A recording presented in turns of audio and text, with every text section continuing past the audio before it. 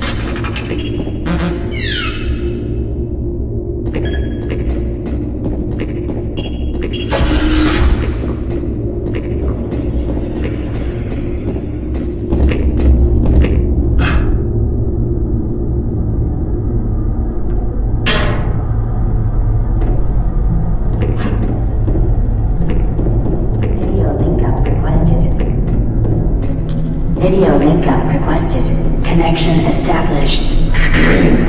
This is Kelly. If you're watching this, you're top of I thought. I guess things aren't always what they seem. Plans have changed. Delta complex one has been compromised. You're not safe there. I'm moving to secure service tunnel one. It's not far from your position. We're there.